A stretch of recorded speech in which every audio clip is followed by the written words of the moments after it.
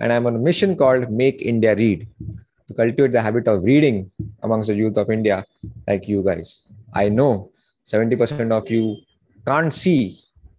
You, are, uh, you have you are physically visually challenged, and so I have an audio facility as well. You can read or listen to the summaries in my voice.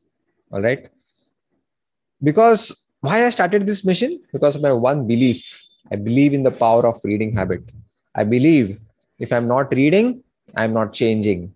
And if I'm not changing, I am not growing. And because of this strong belief, I have a burning desire to cultivate the habit of reading amongst the youth of India. And hence, I'm on a mission called Make India Read. Coming back to this idea of doing things differently.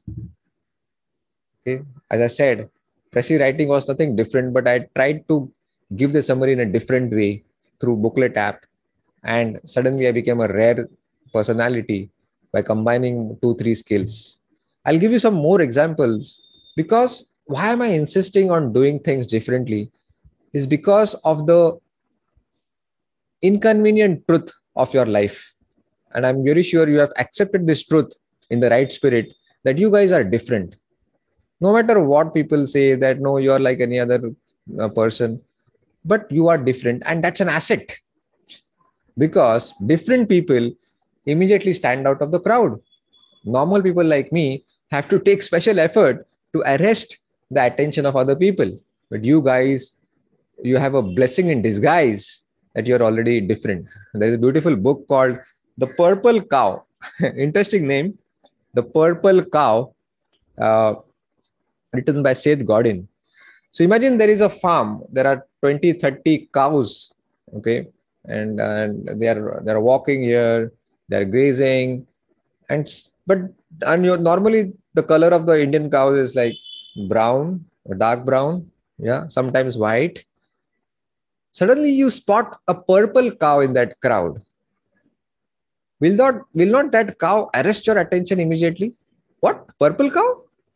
wow right you are already the purple cows yes or no?